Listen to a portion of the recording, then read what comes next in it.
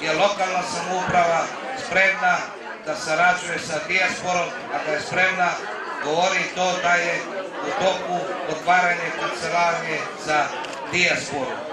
Ja nemam nameru da držim politički govor.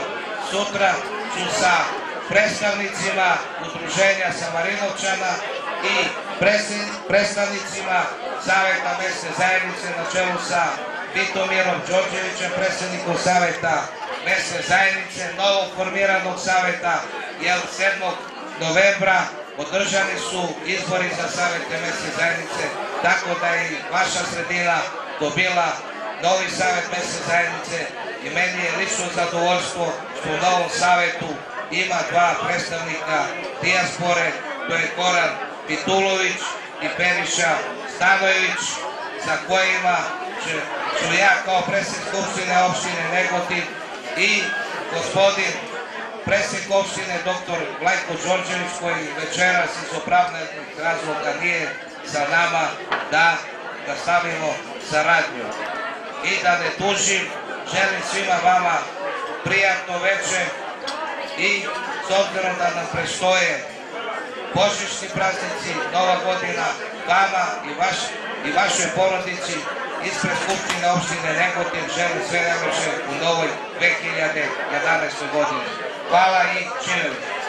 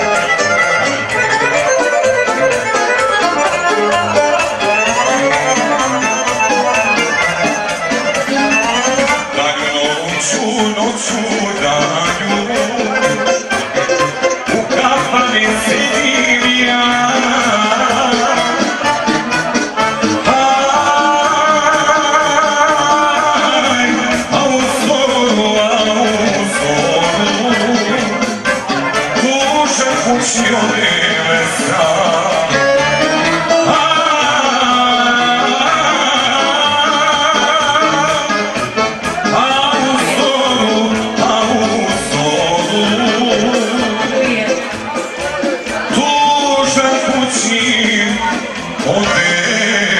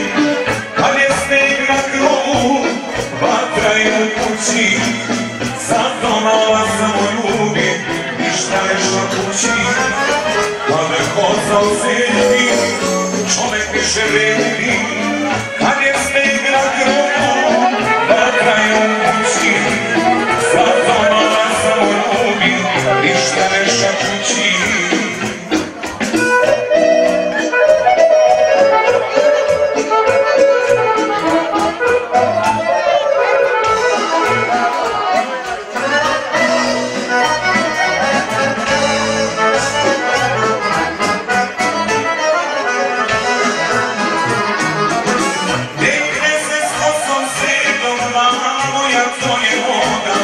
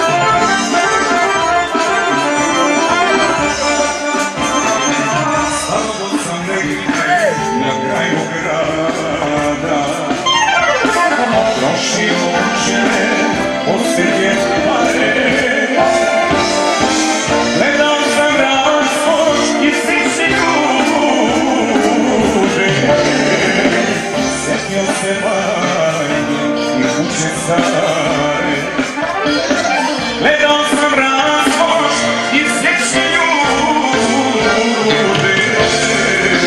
Sjetio se